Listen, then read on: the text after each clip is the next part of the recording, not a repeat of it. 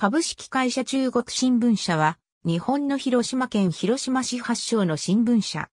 地方紙の中国新聞を発刊しており、新聞発行の他に、書籍の観光やイベントの主催なども行っている。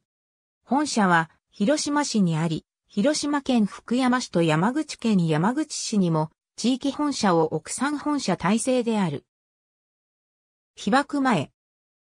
被爆後。米軍が撮影した八丁堀周辺の被爆前後。横断する道路が相生通りで、写真中央右の広い敷地が、上り町国民学校。そこから右下三角形の建物が、広島東警察署で、その左隣の真四角の建物が、当時の中国新聞社屋。原爆投下後の市中心部。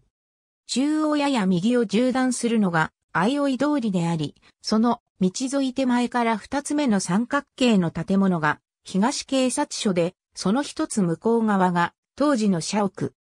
1960年上流川町時代の社屋、中国新聞広島本社中国新聞ビゴ本社、中国新聞傍聴本社観光中配館、旧館地元広島県の民間放送局すべてと関係があり、CM も放映している。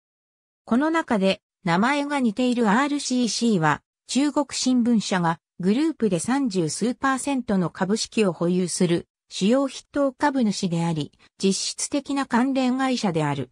広島テレビやテレビ新広島などは、キー局と親密な新聞資本の方が強く、広島ホームテレビは朝日新聞社の関係会社に位置づけられている。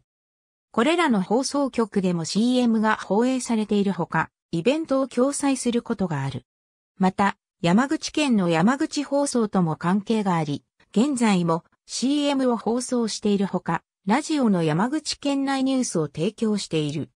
さらに、産経新聞西部本部及び、毎日新聞社と関係の深いテレビ、山口や朝日新聞社及び港山口合同新聞社と関係の深い山口朝日放送でも CM を放映している。全国新聞ニュース網も参照。以下の新聞の広島県及び周辺地区における地域版を本社関連企業で委託印刷している。ありがとうございます。